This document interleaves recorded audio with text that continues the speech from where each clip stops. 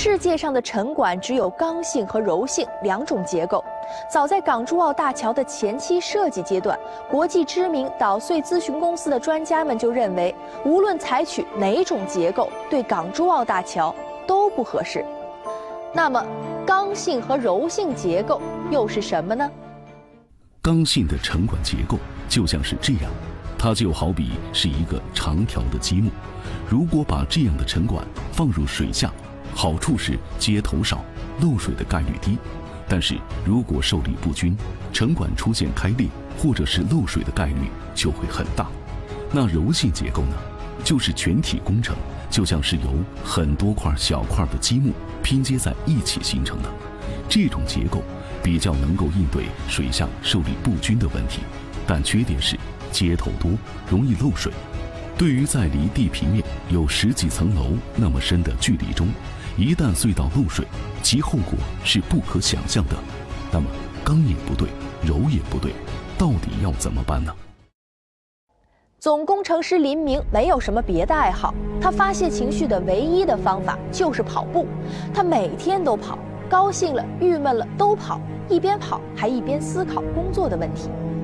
然而，林明跑了一年，也没有想到解决问题的方法。直到有一天，林明突然从睡梦中惊醒，他脑子里突然就蹦出来了一个念头：如果刚和柔都不行，那我们能不能一半刚一半柔啊？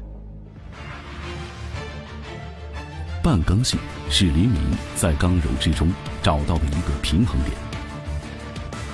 具体做法就是把一百八十长的大沉管分成八个小节来制作。然后用钢绞线像串糖葫芦一样把它们都串在一起，再将其拉近。这样的钢绞线，每一个沉管都要串六十条。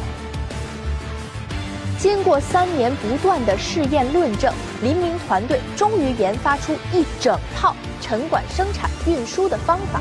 而接下来的沉管安装是整个捣碎工程风险最大的部分。然而，城管什么时候出海，很大程度上还要靠天吃饭。一般来说，城管安装作业必须选择一个风浪较小、气候各方面条件都比较合适的天气。工程人员将这种天气称之为气象窗口。为了准确预报城管出海的气象窗口，相关部门花费了三千万元。与国家海洋局海洋环境预报中心以及中国科学院南海研究所合作，从二零一一年五月份开始就在做海上气象的研究。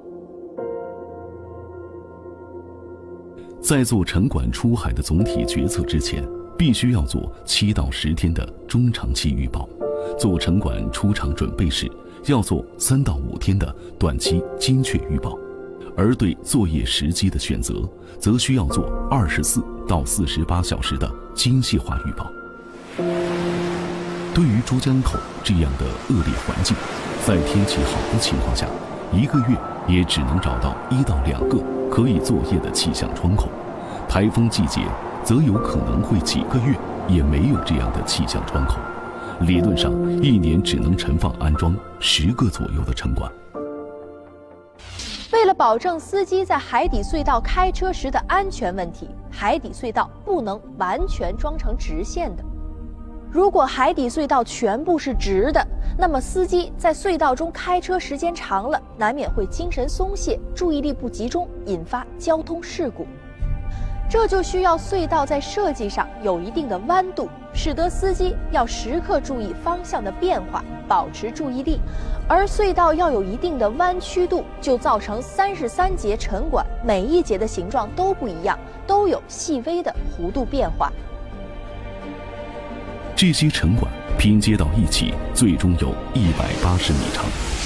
有任何偏差，有任何的受力不均，都有可能引起渗水或者材料裂缝。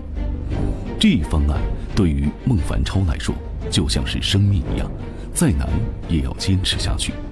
据孟凡超回忆说，他从参加工作的一开始，自己的生命就与大桥紧紧地联系在了一起。